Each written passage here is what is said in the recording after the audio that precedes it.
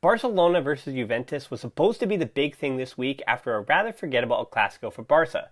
But thanks to Bartomeu resigning, something that was a long time coming, this major match between European giants was the B story this week. Yet, if Barca are to actually contend in Europe this season, these are the kind of tests that matter, and since there was no fans in Turin, a result felt like a necessity. Koeman chose not to start Fati, and that makes sense to me. You can't have a 17 year old, 18 in a few days, starting every single match, especially two in a row of this caliber. The puzzling thing is that Pedri started, and he's younger than Fati.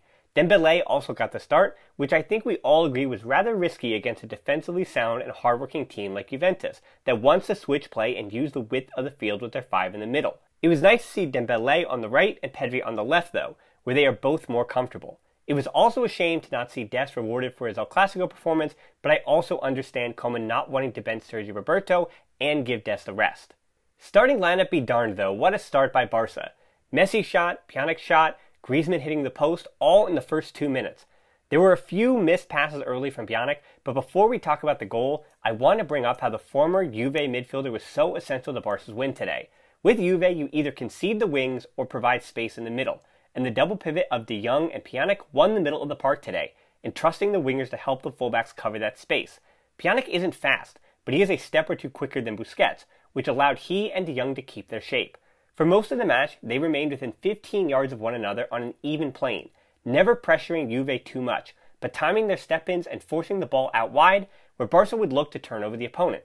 When Barca went to press, Pjanic was the one of the two who came forward, and his anticipation in winning the ball back was good all game long. It'll go underappreciated, but a nice showing from him. So as I said, I was worried about Juve switching play and causing trouble, but it was Barca that switched the play and made something happen. Messi dropped back into midfield, switched to Dembele, and even though two came to him, Chiesa got turned around and a good deflection put Barca up 1-0. Barca started this game with confidence as the better team, and they were lucky to always be in that position. Not only was Alvaro Morata offsides for two goals in the first half, but we saw misses from Messi after a nice build-up with Griezmann, an Alba miss after a terrific build-up from the entire squad, and Szczesny coming up big against Dembele and Griezmann. While I praise Pjanic and De Jong for the defensive shift in the first half, Araujo and Lenglet were superb, particularly Araujo, who Morata tried to attack. Lenglet's positioning, meanwhile, behind Pjanic and De Jong meant that Dybala barely got a sniff of this match. Unfortunately, Araujo was injured at the end of the first half, and so De Jong was moved back to center back, and Busquets partnered Pjanic.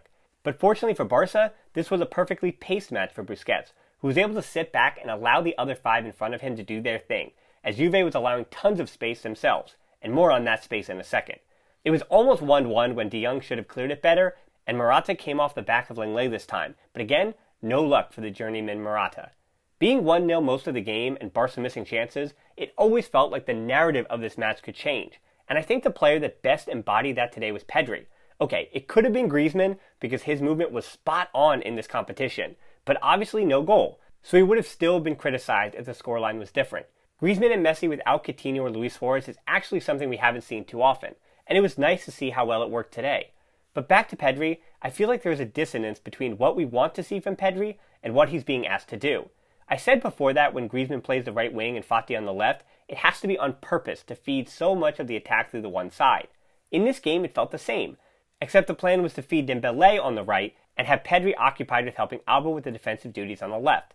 That game plan was working, and the persistence and discipline paid off in the second half when Pedri was given a lot more space and started expressing himself better. The spin away in the middle of the field and the feint on the sideline were great to see for his confidence.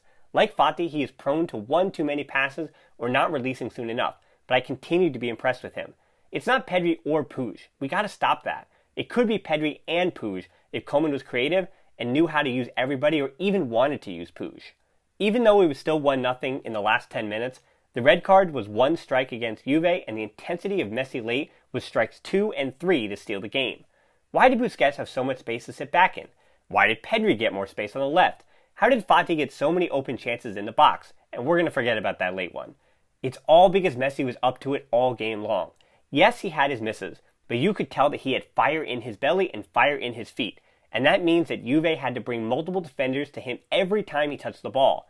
That gravitational pull of Messi is what allowed Fati to get goal side of Bernardeschi, who committed the silly foul in the box. Then Messi got his reward for a well played day at the office, beating Szczesny on the penalty. It was never pretty, and people will say Barca should have done better to finish their chances. But this is a team that showed something today. Not just X's and O's, which Koeman got right against Juve, but this was a hungry team, and that's good to see. Were they galvanized by the resigning of the board they don't like? Maybe a little, but I think the pride of losing El Clasico weighed on them more. Now it's six points and top of the group in Champions League, so time to right the ship in the Liga, with Deportivo Alaves up next. Make sure to check out our second podcast this week discussing the Bartomeu resignation, and make sure to give this video a like, subscribe, and hit that bell for notifications for more content like this. And as always, until next time, Forza Barca.